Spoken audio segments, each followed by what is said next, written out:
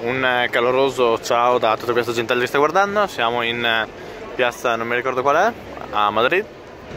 Caie, all'uscita di How. Stiamo rientrando alla base dopo aver mangiato ciccia, come sempre. Cioè, come sempre. Sempre qua.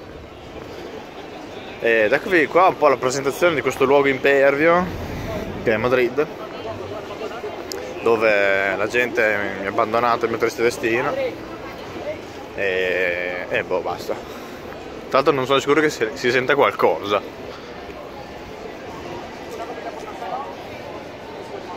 Uh.